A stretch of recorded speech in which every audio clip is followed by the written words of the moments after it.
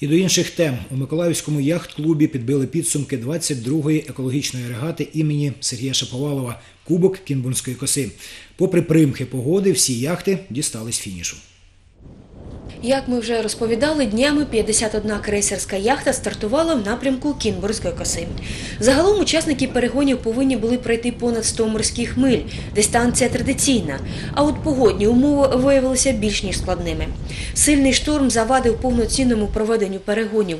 Було відмінено один етап.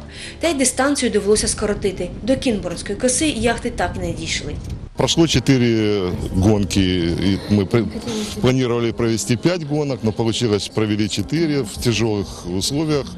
Э, К сожалению, не смогли дойти до точки нашей традиционной на медийно-устричный комбинат в Егорлыцком заливе. Нас не выпустили пограничники в силу того, что было штормовое предупреждение.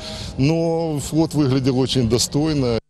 Провели четыре гонки полноценных с хорошими, хорошим ветром, немалой волной. Были поломки, были порванные паруса, но спортсмены счастливые и довольные.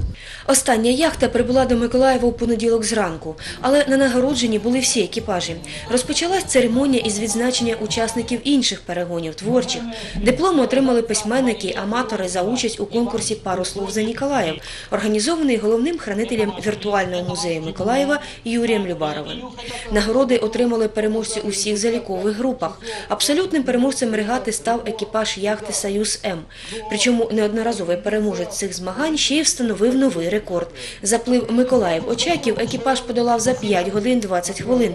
Такого ще нікому не вдавалося за всі 22 роки змагань. До речі, цей результат вразив і деяких членів екіпажу переможця.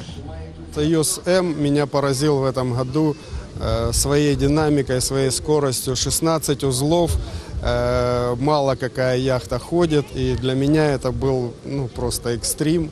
Э, Лодка ходит в два раза быстрее, чем э, просто крейсерские яхты, и для меня это было просто вот как экстремальная гонка в этом году.